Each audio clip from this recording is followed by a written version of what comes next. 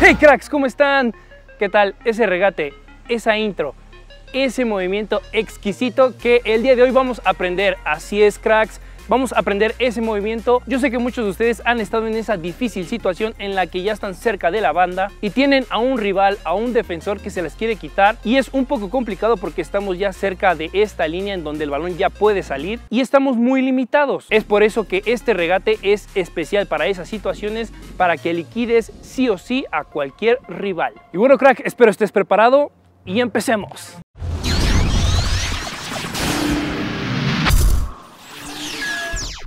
Lo primero, lo primero, lo primero que vamos a hacer en este momento, cracks, es comenzar a practicar la finta. Esta finta se debe de realizar siempre en dirección hacia la portería. Vamos a realizar como una especie de bicicleta interna hacia adentro con nuestra pierna dominante, justo de esta manera. Al hacerla en dirección hacia la portería, el rival va a creer que vamos a salir conduciendo el balón hacia esa dirección, pero no, amigo mío. Esto es solo una finta y con esto del rival vamos a lograr desequilibrarlo un poco hacia esa dirección. Lo siguiente que tenemos que hacer es pisar el balón justamente con la suela de nuestro otro pie, pero en dirección contraria, o sea que en dirección hacia nuestra propia portería. Con esto vamos a lograr que el rival piense que ya vamos a salir en esa dirección y que tal vez vamos a dar un pase o que ya nos rendimos, que ya no vamos a ir hacia su portería y que vamos a hacer un cambio de juego, algo así. Pero como lo habremos ya desequilibrado bastante, él va a ir por nosotros ahora sí con toda su velocidad, con toda su energía. Y aquí es donde vamos a utilizar este último movimiento sorpresa,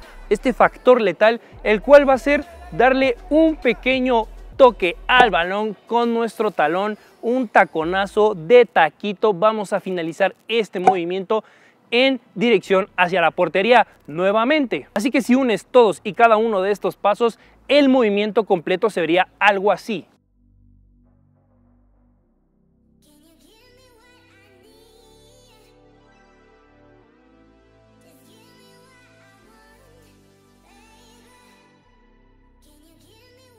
Te recuerdo que es muy importante que a la hora de que des ese taconazo, ese toque de taquito, lo des muy centrado al balón, ya que si lo das un poco chueco, el balón se puede ir hacia otro lado que nosotros no queremos en diagonal o inclusive podemos terminar sacando el balón de la cancha que es lo que menos queremos. Y déjame decirte que este movimiento de verdad es muy efectivo ya que el movimiento final del taconazo de taquito ya lo estamos haciendo prácticamente casi casi de espaldas ya cuando vamos hacia nuestra portería, por lo que el rival no se lo va a esperar ni en 100 años. Entonces, al cerrar este movimiento de esta manera, sin duda lo liquida totalmente.